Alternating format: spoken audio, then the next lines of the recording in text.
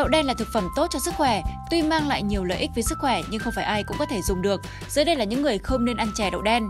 Thành phần dinh dưỡng của đậu đen Hạt đậu đen giàu chất dinh dưỡng, protein 24,2%, lipid 1,7%, glucid 53,3%, tro 2,8%, các khoáng chất, canxi, phosphor, sắt, caroten, các vitamin B1, B2, PP, nhiều axit amin cần thiết.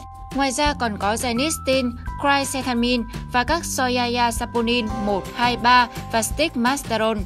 Vỏ hạt chứa nhiều anthocyanidis, flavonol, Nghiên cứu trên động vật cho thấy có mối liên quan giữa chế độ ăn dầu flavonol và giảm nguy cơ ung thư vú nhưng chưa được chứng minh ở người.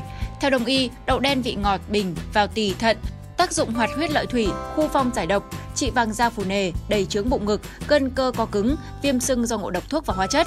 Đậu đen cũng cung cấp nhiều loại dinh dưỡng thực vật như saponin, anthocyanins, camphorol và quercetin.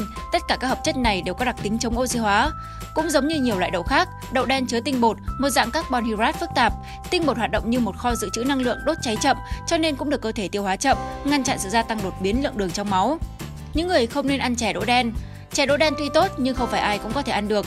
Theo bác sĩ chuyên khoa 2 Huỳnh Tấn Vũ, giảng viên khoa y học cổ truyền trường Đại học Y Dược Thành phố Hồ Chí Minh cho biết, những người cần hạn chế sử dụng đậu đen hoặc cần tham khảo ý kiến bác sĩ trước khi dùng.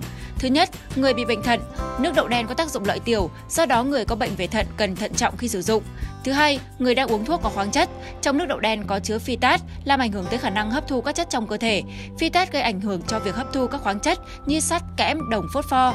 Vì vậy, bạn không nên dùng nước đậu đen để uống các loại thuốc có chứa sắt, kẽm, canxi, đồng hoặc sử dụng các thực phẩm có chứa các chất này dẫn tới thiếu máu, loãng xương.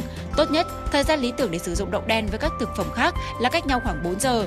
Thứ ba, người mắc bệnh viêm đại tràng đi ngoài phân lỏng, tiêu chảy, tiêu hóa kém không dùng đậu đen.